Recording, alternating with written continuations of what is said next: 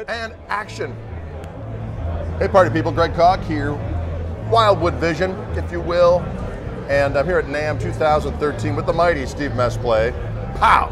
We've been having fun out here. We have. This Great whole. Great diggity dog. Thank you very much for bringing me out. It's a Thank pleasure working with you. Thank you for joining us. We're honored to have you part of the Wildwood family. Well, you know what? It's about music and it's about great guitars. It. Let's talk a little bit about your impressions of this year's NAMM experience. It's it's, it's a stressful time because you've obviously got to be transacting with a lot of different business associates and so on and so forth. That's what makes it fun. We dash from manufacturer to manufacturer, but it's actually a, a great time. We came out early this year to uh, spend time at the Taylor factory and the James Tyler factory, Yep. the Fender Custom Shop, recording session with Greg. But really, I think that's what makes being a part of Wildwood so special is is the partnerships that we have with great musicians, great manufacturers, the opportunity to have Fender make us some very special guitars, Yes. the Wildwood 10s and the thin skins, and with Gibson, the new Specs. vintage guitars and the Wildwood Spec Lesters, which I know you're rather fond of, SMI,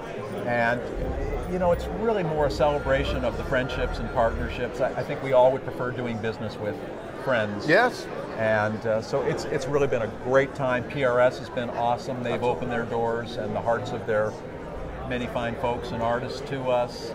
And uh, we got to hang out with Jimmy Lovingood, Yes. the epic Jimmy, Jimmy, Love and the Good. Say what, Jimmy yeah, Love. from Premier Builders Guild, Dennis Fano, uh, Saul Cole, Mark Gene Bartel. Baker. Yeah, Gene Baker, Mark Bartel from Tone King, the folks from uh, Tim, uh, Two Rock, multiple So- stone, if you will, right, plural stone. stone. So yeah, it's been a it's been a great time. We look forward to uh, getting home, relaxing, and then what do we do? We're gonna come out in a couple weeks to rock more We bring this guy at back. the Wildwood Lair. So stay tuned, Stand clear stand clear, and stand firm. stand firm. Greg Steve Koch with Steve Mesple.